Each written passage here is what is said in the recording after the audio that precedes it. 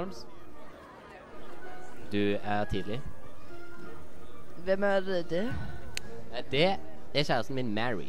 Øh, ok. Er det sånn hun ser ut? jeg trodde litt mer. Ja, det går helt greit. Ja, Sikker. Jeg har hørt mange historier om deg, Holmes. Du er kjempebra detektiv. Og jeg vil gjerne bli en jeg òg. Det er sant. Så jeg har mange bøker hjemme. Kan du Så er det mange detaljer liksom?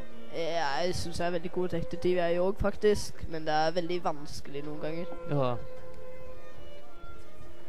Siden du må alltid tenke. jeg vil høre. Du må alltid bruke hjernen når du er detektiv.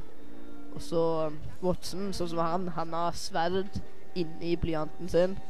Og det har ikke jeg. Jeg har noe annet kulere. Og det har jeg. Men Watson, han er en soldat. Se, han har Han har billett til uh, Rotterdam-festivalen. Og så Ja, det er nok nå, Holm.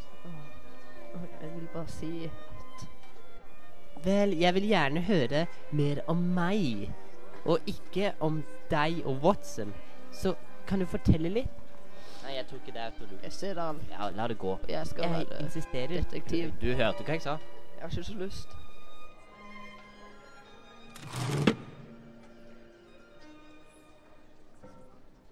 OK, du Ja, er en jente. Ok, det er nok. Hva er Kelner?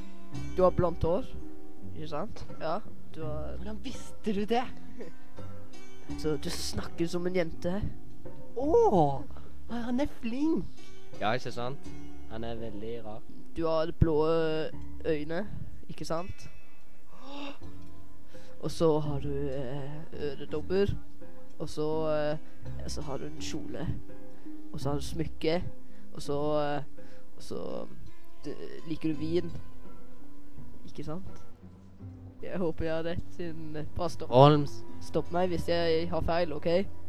Men jeg tror også du har Se, du har en ring. Eller du hadde en ring siden eh, du ble slått ned av en hund. Og så hunden, den kom oppå.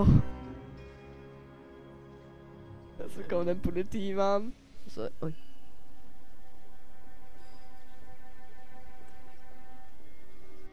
Vel, du hadde rett med mange ting, bortsett fra én. Eh, Det kom ingen politimann. Jeg fikk aldri hjelp.